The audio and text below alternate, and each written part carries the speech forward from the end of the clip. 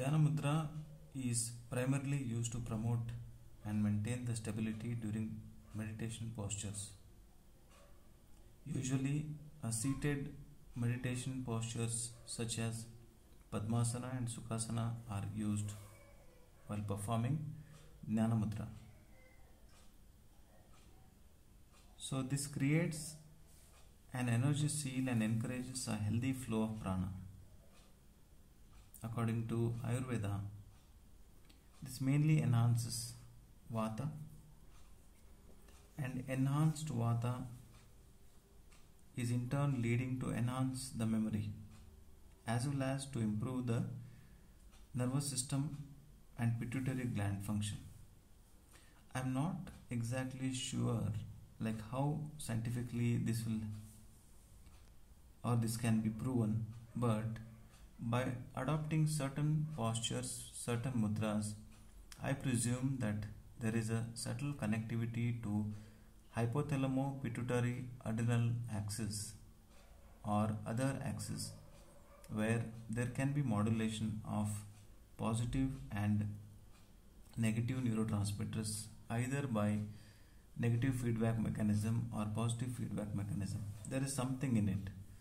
So that's what we say the number of receptors are maximum in hand compared to any part of the body according to neurophysiology so there is something in these mudras which will help us to balance certain energy uh, circuits in the brain So, practicing Dhyana Mudra helps the practitioner to focus on attaining true knowledge and wisdom. Also, it enhances mental strength, sharpen the concentration, improve the focus.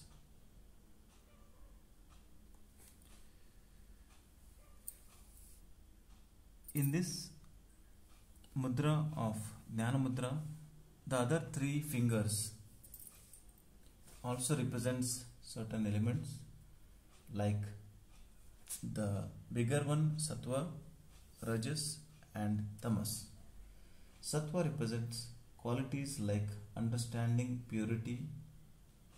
Sattva the rajas indicates action passion and movement. And tamas indicates an inertia laziness darkness and ignorance. When all these three entities are kept straight and the individual consciousness gets connected with higher consciousness there happens the wisdom the intuitive knowledge